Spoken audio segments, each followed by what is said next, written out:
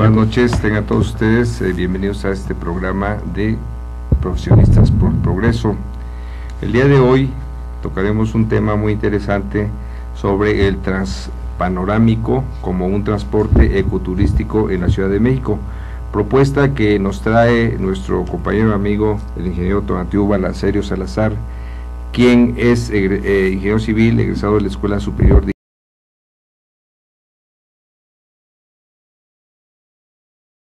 noches, gracias, bienvenido por estar con nosotros. Y la idea es que nos des un panorama completo de este sistema de transporte innovador, los antecedentes, en qué sitios eh, son más eficaces, eh, por qué estás proponiendo esto para una zona muy específica del Distrito Federal y todo lo que tú ya seguramente traes preparado para compartirlo con nosotros. Sí, bueno, esta idea, eh, bueno, no es, no es nueva, eh, generalmente se utiliza para zonas turísticas, para subir a las montañas. Y eh, a nosotros se nos ocurrió pues este sistema porque en Xochimilco eh, solo tenemos dos, dos salidas principales que son Guadalupe y Ramírez y prolongación División del Norte. Y ahí pues ya está hacia el periférico hacia el periférico. Entonces está las congestionada está todos los días congestionada y hacemos entre a veces una hora y lo mínimo que nos este que, tardamos es este media hora. Entonces eh, y buscamos algunas alternativas para salir sin embargo como estamos en una zona ecológica eh, pues no podemos afectar la zona de las de las chinampas. Entonces pensamos en este sistema que es aéreo y que pues no afecta en, ningún momento ni, ni, los terrenos ni las chinampas y es una es un es un transporte que pues nos va a traer muchos beneficios tanto ecológicos como turísticos.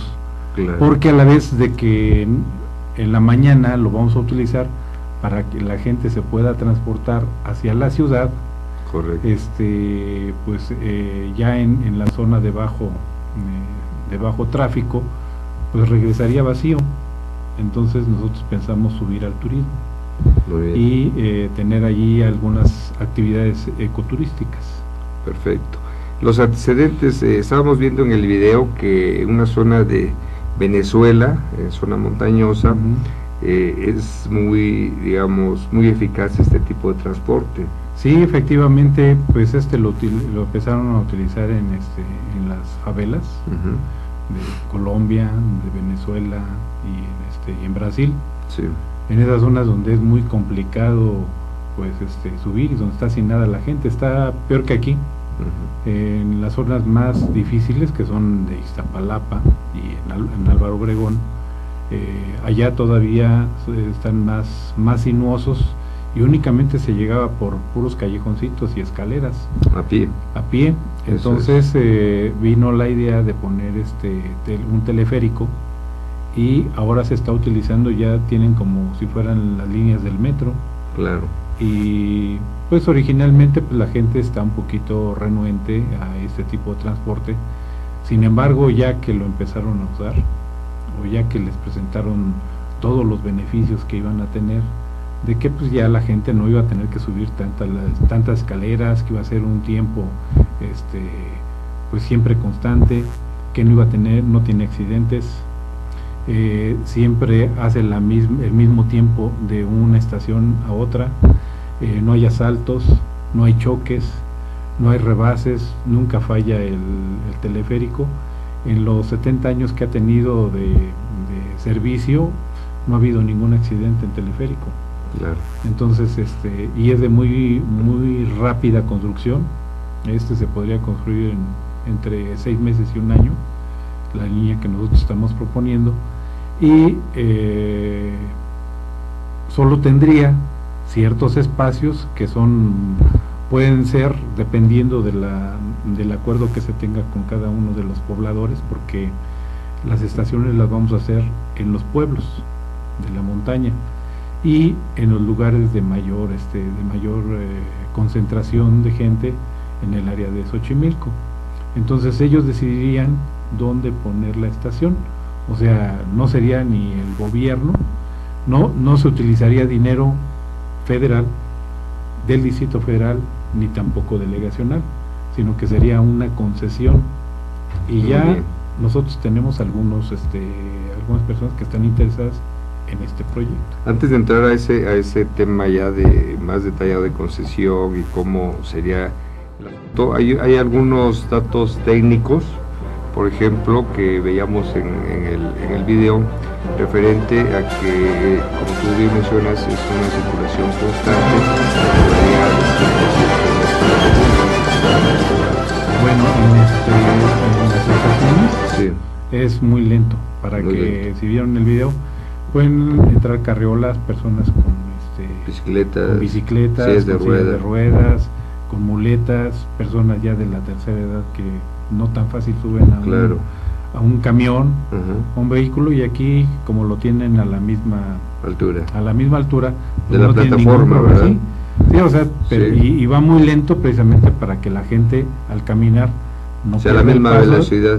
y pueda este pueda entrar al, al, teleférico y ya cuando sale de la estación tiene una velocidad promedio de 30 kilómetros por hora. Ah, correcto, muy bien. Entonces, al llegar a la estación, se disminuye la velocidad, pasa a la estación y ya agarra la velocidad crucero, o sea, de esa manera. Muy bien. Eh, ahora, más o menos el, trayecto que, seguiría, ¿dónde sería la estación 1, 2, 3? Así por nombres de barrios o de zonas. ¿Cómo, cómo, este, el, hay, hay una Y. Una Y. Una Y que está situada en Santa Cecilia. Eso es y de aquí de Santa Cecilia eh, eh, nosotros programamos que se haga una desviación hacia Topilejo y la otra hacia San Pablo Totepec. Serían dos, dos vías, dos, dos, vías y tenían que tienen que pasar, pasa por este por San Francisco, llega a Santa Cecilia y luego de ahí se desvía hacia Xochimilco o la otra es hacia la zona de hospitales de Tlalpan para ir hasta Huipulco y de Huipulco llegaría a Ciudad Universitaria. Y el otro pasaría por Xochimilco y llegaría hasta pues, la línea 10, que la línea 12, perdón, que esperemos que ya cuando se construye esto pues ya, ya funcione. Funcione, ¿verdad? Perfecto. Eh, ¿Cuántos kilómetros eh, tendría un recorrido y cuántos eh, tendría el otro aproximadamente? Son aproximadamente 37 kilómetros. En total. En total, sí. Ok. Perdón, 17, 17, 17. kilómetros. Ya por los dos ya estamos hablando. Exactamente, eh, por dos ya serían como 34 kilómetros. Exactamente. Pero sí, la, este, de, la, de la estación más alta sí. a la más baja, harían más o menos como unos 35 minutos. Lo que ahorita hacen como una hora y media o dos horas. Sí, es, demasiado. Mucha de esta gente nos preocupa mucho porque, pues, eh, como que están un poco olvidadas. Claro. Y, y, no vienen a la ciudad precisamente pues, porque les cuesta mucho trabajo ir, eh, en el transporte. Y casi todas estas, estas personas se transportan en un transporte eh, propio. Y si no lo tienen propio, pues mejor ni salen. Claro, y hacen más tiempo. Hacen eh, dos horas a, a, Xochimilco y otra para allá, son tres, y tres de regreso son seis.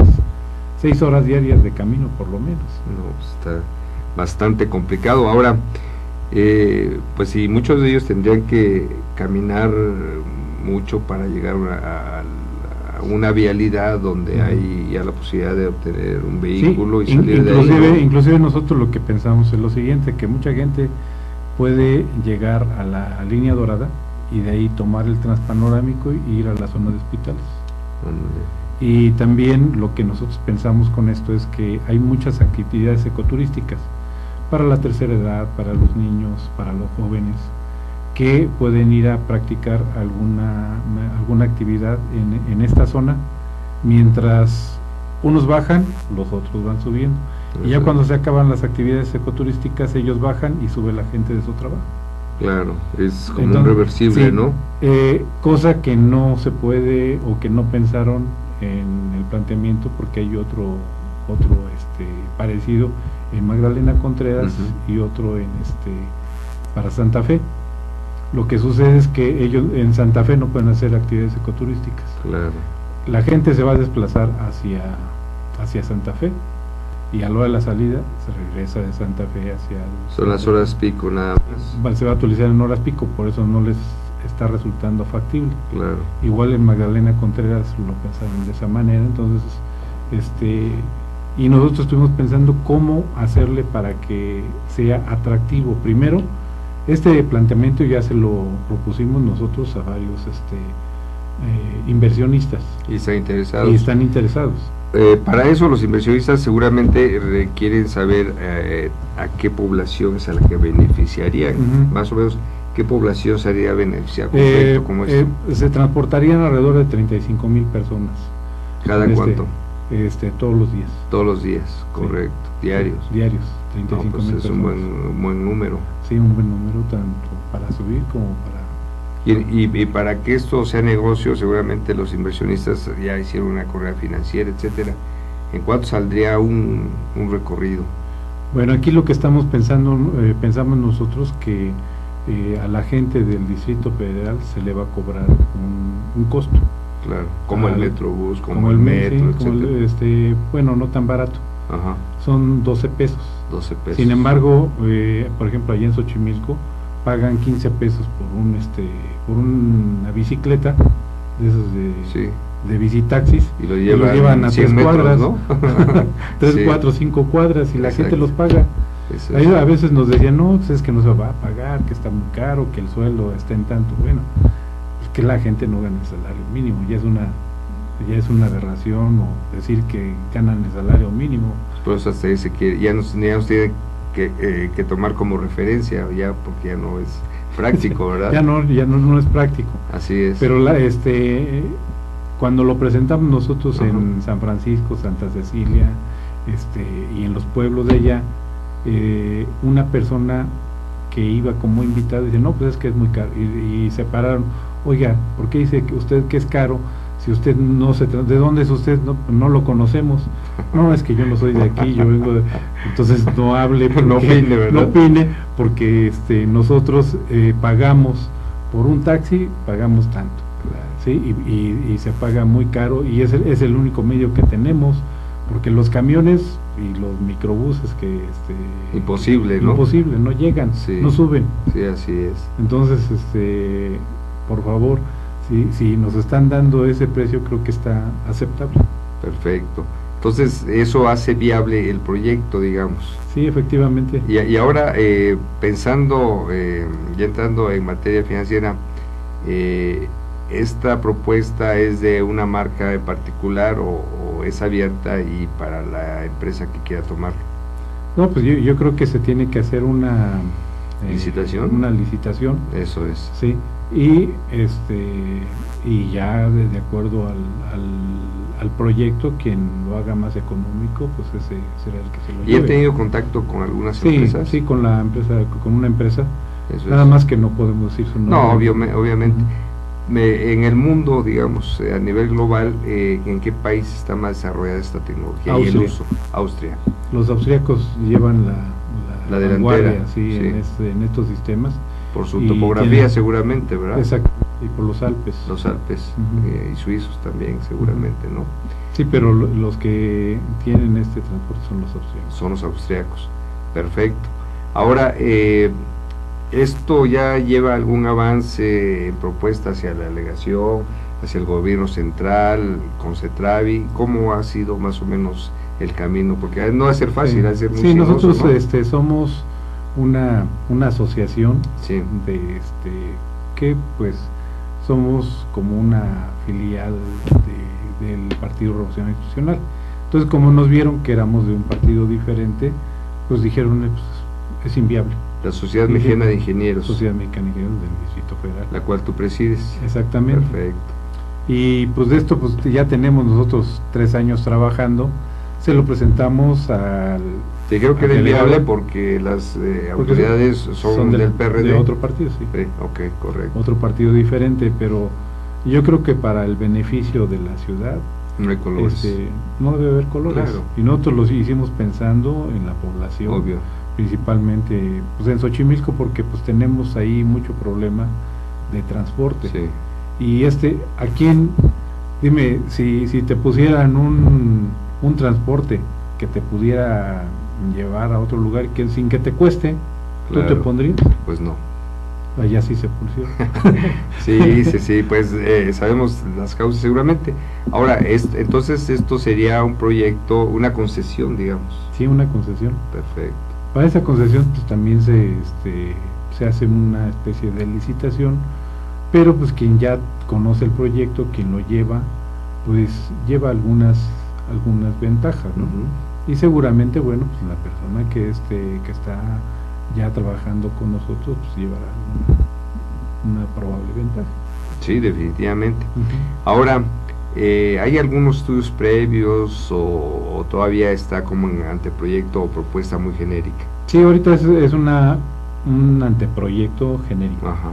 ¿Por qué? Pues porque se requieren estudios de impacto ambiental, de, factibilidad económica, pero este, nosotros hemos ya realizado más o menos algún estudio, hemos platicado con mucha gente, hemos mostrado este proyecto a personas que, que, se, que, se dedican a, este, a, con inversionistas y lo ven muy factible. Aquí ahorita, por ejemplo, les, pasamos el proyecto del, teleférico. Eh, pero tenemos en el otro donde pasamos todo lo que son las ventajas, tanto técnicas como las ventajas eh, ecoturísticas claro. de todas las actividades que se pueden realizar en, esta, en la zona de la montaña. Sí. Que yo vi los otros proyectos y no mencionan para nada este esto ¿por qué? Pues porque únicamente se van a transportar de una zona urbana a otra zona urbana. Y aquí no, de la zona Es una combinación. Es una combinación de ambas. Muy bien. Entonces, este, pues eso precisamente es eh, tendría más o menos una inversión de 450 millones anuales de derrama económica para Xochimilco cada año. Muy bien. Y además eh, sería... Que casi es un programa operativo. Y además sería una atracción más para Xochimilco, ¿verdad? Exactamente, sí. ¿No? Y nosotros le hicimos que pase, exactamente. Tenemos una, una de las estaciones que, que está en el embarcadero de, de Nativitas. Eso es. Y va a pasar por la zona de los de los canales. Pero sin tocar los canales sin afectar nada. ¿cuál es lo bueno? haz de cuenta que aquí tenemos un espacio para poner una torre que pues cuando mucho ocupa un espacio de 5 por 5 es puntual. Es puntual. Exacto se construyen las torres estas torres se pueden fabricar en otro lugar. Se montan se montan lo único que se tiene que hacer es la, cimentación. Y esa cimentación se hace un espacio de 5 por 5 no, no ocasiona tráfico, no, eh, no ocasiona problemas, este, pues eh, se le pagaría a las personas una renta por su terreno o ya ves que están poniendo los este, los espectaculares. Es lo mismo. Los es lo mismo. Exactamente. Y la gente gana y, renta su pedacito para que esté ahí el poste, digamos, la columna. Y, y, tampoco hay derecho de, de paso. De, vía. De vía. Porque, es aéreo. Es aéreo, es aéreo y no y no afecta una vez que se coloca claro. Este únicamente de torre a torre se, se van cambiando se jalan los cables, y ya. se cambian y ya no hubo ningún problema. Exactamente. Ahora hay otro tema por eso es eco, eh, ecoturístico. es ecológico porque no contamina esto trabaja con energía eléctrica verdad así es efectivamente. Y eh, estamos viendo ya en la posibilidad de que esto se haga también con energía solar o sea, no, no vamos a utilizar ni energía, ni más luz, ni terrenos, ni dinero del, del erario, nada. No sé por qué no quieren que se construya. Muy bien. Y ahora esto no, no valdría la pena, pues ya ves que ahora hay este plebiscitos, encuestas y cosas por el estilo. ¿No valdría la pena hacer una especie de encuesta para que los eh, pobladores beneficiados, sobre todo porque habrá zonas que no, a lo mejor no les interesa porque no son beneficiarios. Eh, aquellos que actualmente no tienen esa movilidad tan fácilmente, eh, digamos, aprovechable que se les va a dar, pues ellos serían los que debían opinar, ¿verdad? Sí, este, fíjate que eh, lo hemos presentado más o menos como en unas unas 25 veces en diferentes pueblos, en diferentes eh, lugares de ya de Xochimilco y el 90% de las personas salen muy salen contentas. Claro. Y salen este pues convencidas de, que es un buen sistema para, para la ciudad y más para aquí para para esta zona. Y siempre pues hay algunas personas que pues, siempre se pues no tienen bases se ponen por oponerse, como, como, como siempre, ponen muchas alternativas, pero pues esto ya lo tenemos bien estudiado y cualquier cosa que nos este que nos pregunten que nos vayan este, hay una respuesta. hay una respuesta y, es factible o sea técnicamente es factible, económicamente también. Económicamente también pues, ¿por qué? pues porque no les va a costar. Sí. O sea si a mí no si me van a poner un coche que me va a llevar de aquí a a donde yo quiera. Te lo están financiando. Me lo están financiando. Y a lo mejor tú pagas una renta nada más, ¿no? No, pero nada. Sí. Y además va a traer beneficios. Claro. Que eso es este eso es lo más importante que, que se va a traer de beneficios alrededor de 450 millones de pesos para Xochimilco. Eso es muy importante. Es muy importante Ahora, que, eh, son fuentes de uno, son fuentes de trabajo y son divisas.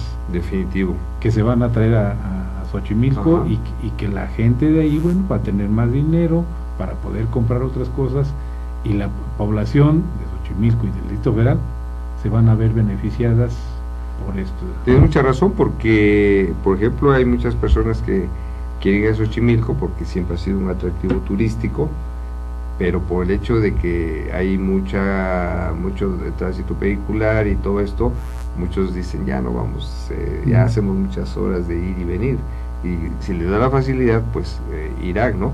Ahora, por ejemplo, sabemos que el petróleo pues ha bajado muchísimo, ¿verdad? Eh, que es una fuente de divisa muy importante para el país y pues el turismo ahí está, que siempre anda ahí por segundo o tercer lugar. Habría que promover el turismo precisamente para de alguna manera sustituir esas divisas que ya no entran por el precio del petróleo, ¿verdad? Sí, efectivamente, pues tú conoces un ejemplo muy este muy claro que es Dubai. Dubai dijeron en, en 20 o 30 años se les va a acabar el petróleo. Así es. Entonces, todo el dinero que tenían lo invirtieron en este para el turismo. Y ahora tienen turismo internacional, todo el mundo quiere conocer Dubai. Sí, es un centro financiero además de, de gran envergadura.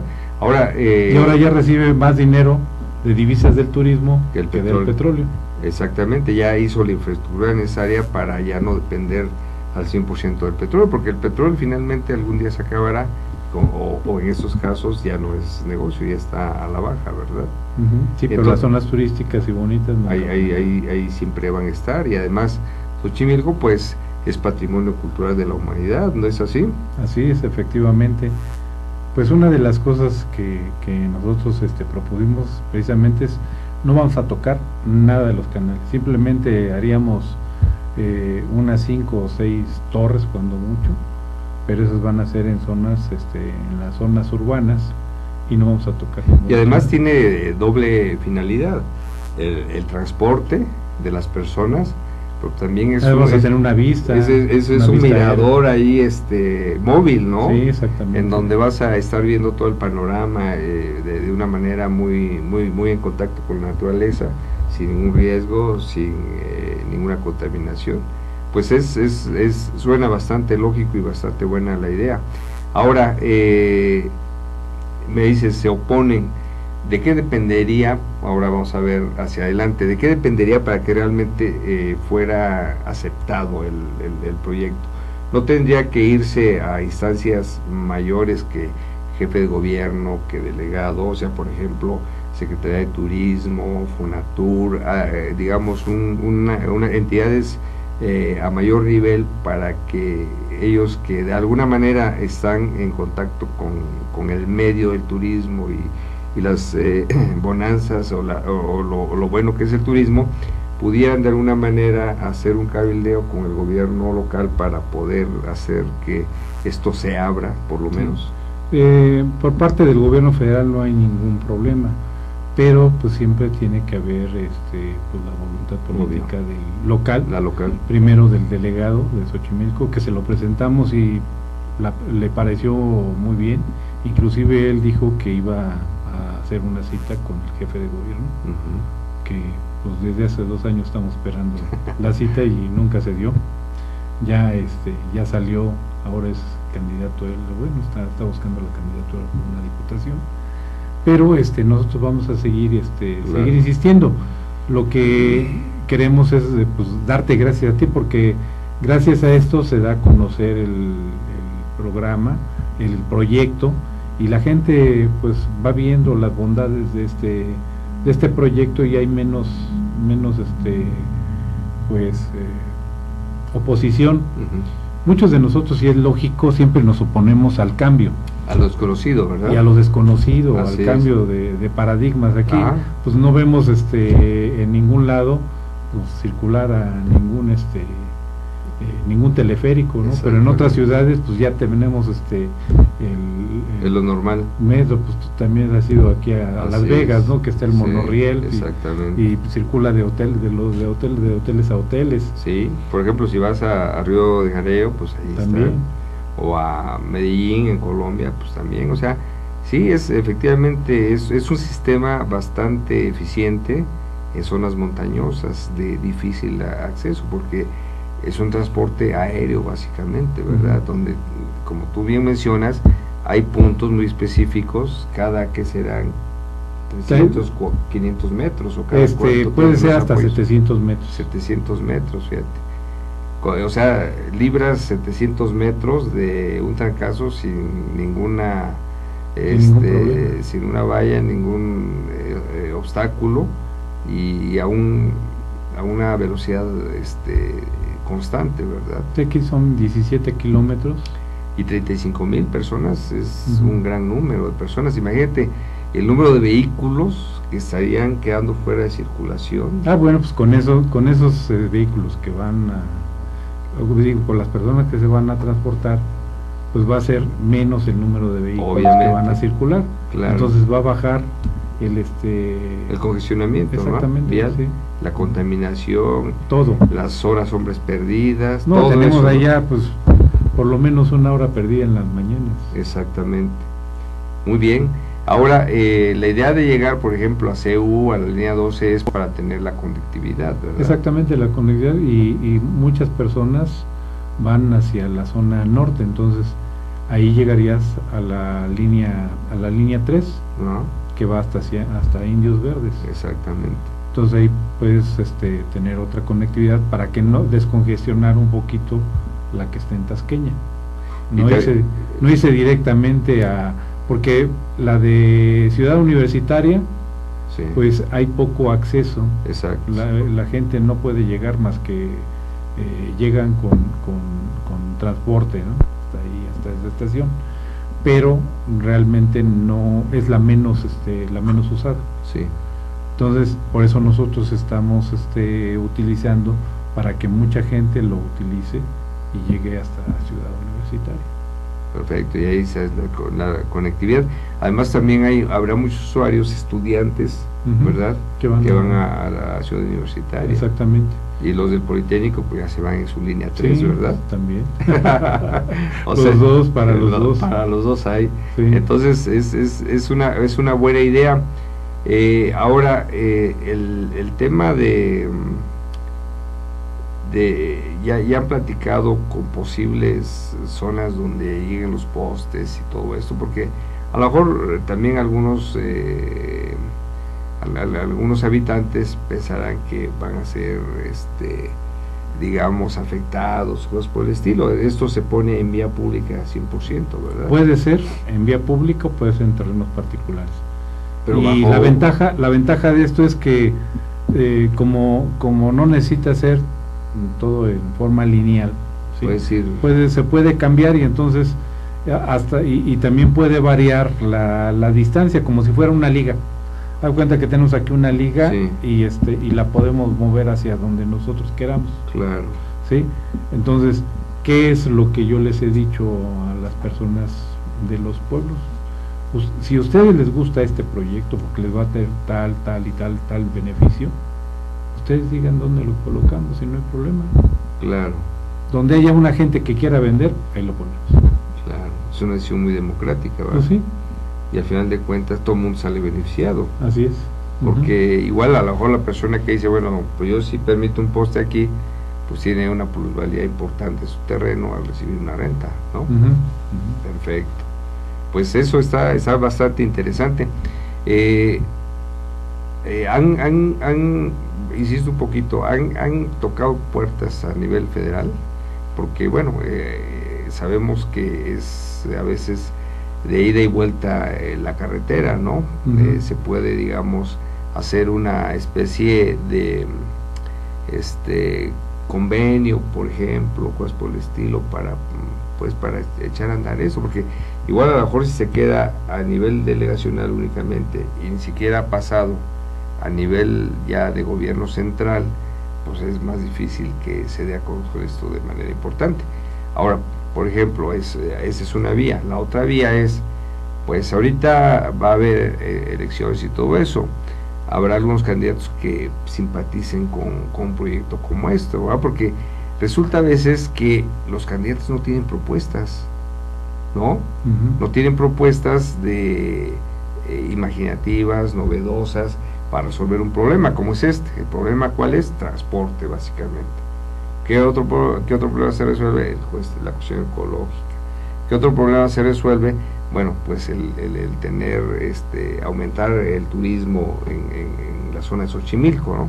Entonces, eh, yo he visto, eh, y, se ha visto constantemente en las diferentes eh, campañas políticas que a veces son muy repetitivos de proyectos que ya vienen desde hace dos, tres sexenios y que no se han realizado y que, bueno, no hay cosas nuevas que proponer. Sí, nosotros hemos estado trabajando con la población. Eso es. ¿Por qué? Porque casi siempre se inicia al revés. Primero se hacen los proyectos y ya cuando se presentan a la población, lo que dicen es, ah, pues ¿y por qué no nos los presentaron? Es un rechazo natural. Es un rechazo natural. Entonces, por eso me dijeron, nosotros estamos trabajando aquí mucha gente ya conoce este proyecto Y, lo que nos este, hemos estado ahorita haciendo es difundir este proyecto en la, entre la población para que cuando ya se realice no creo que tengamos problema. Que ya lo conozcan. Sí, ya lo conozcan.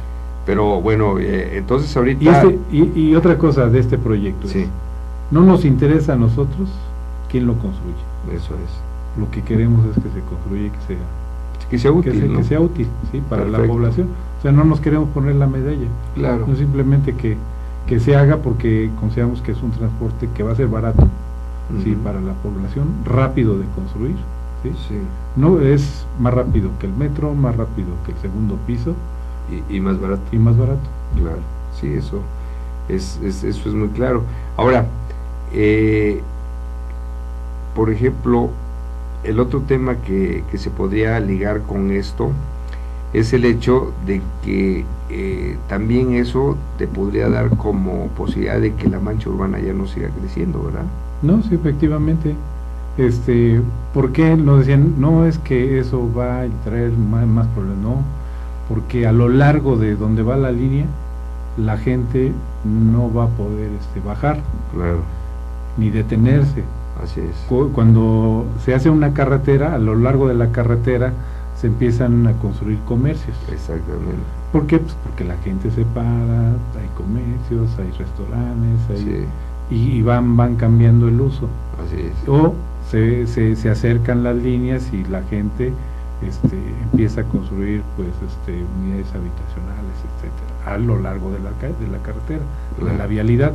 En este caso no, porque van, vamos a llegar exactamente a los centros de los, de los pueblos, donde ya está construido, y solamente la gente va a poder bajar ahí y de ahí ya distribuirse.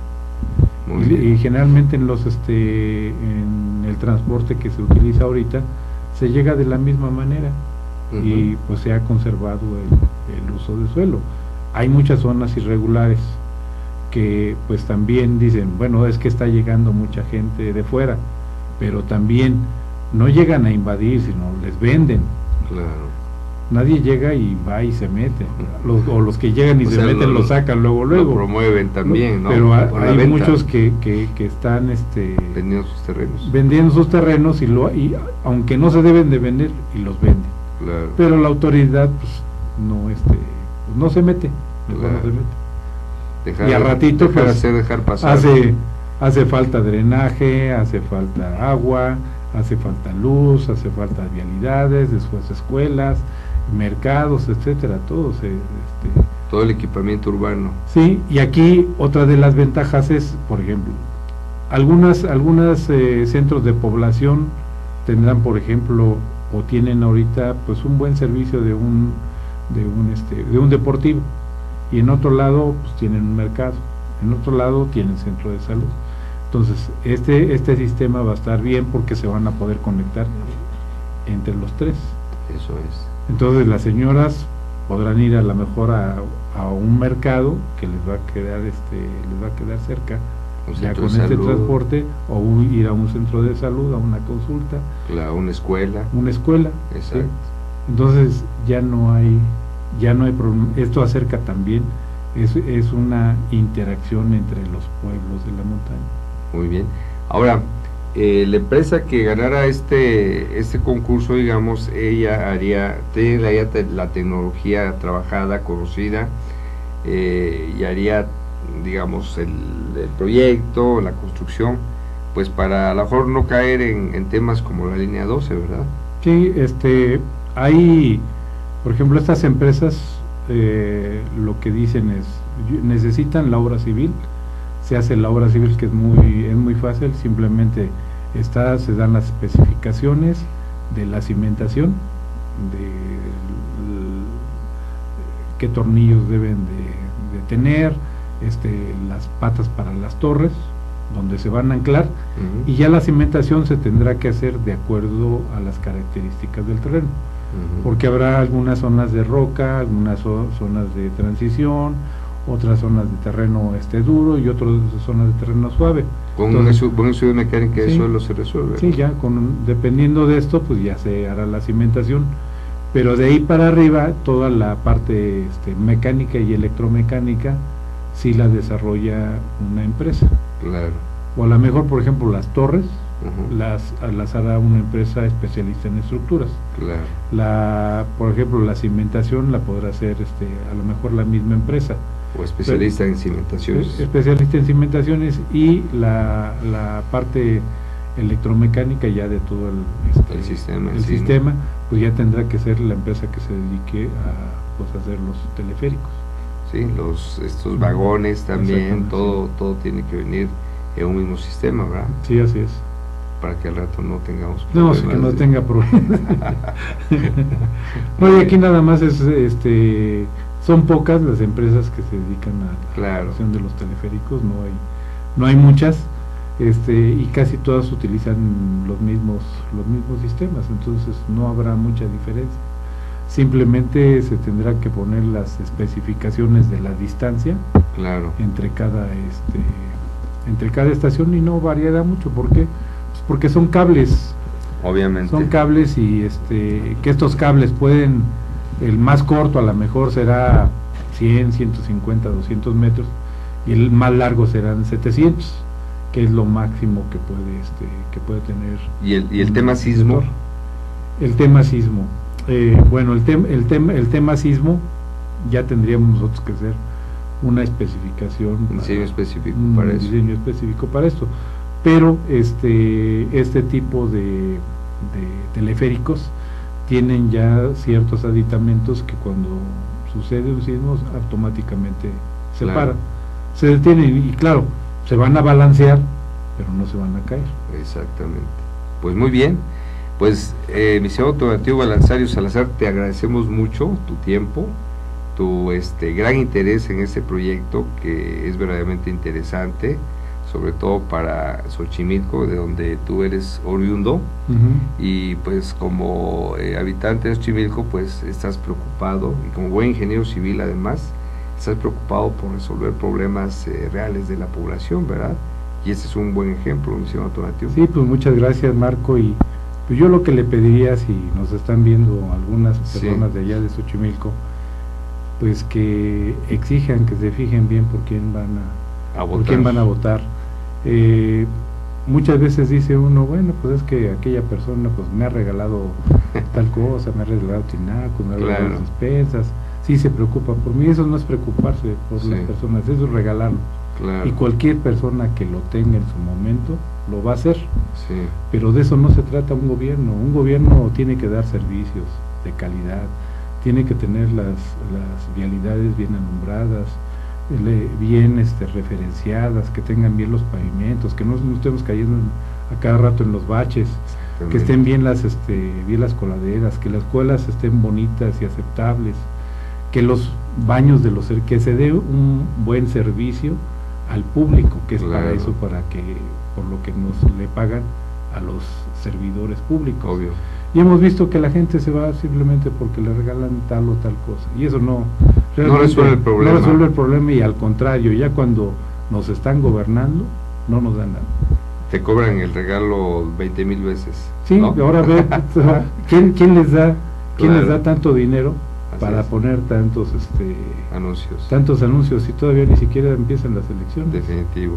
Estamos de acuerdo contigo, Todatio, y pues te agradecemos mucho eh, Visión eh, tu participación aquí, sabemos que siempre has sido inquieto y con mucha imaginación y propuesta, y te agradecemos mediante este eh, documento tu participación aquí. Eh, eh, está firmado por Marilena, que, quien es nuestra nuestra directora general, servidor y amigo Marco Antonio Méndez como conductor de este programa y presidente del Consejo Nacional de Egresados del Instituto Político Nacional. Pues muy amable, Marco. Muchas gracias. Aquí estamos a tus órdenes. y ustedes, amigos, muy buenas noches.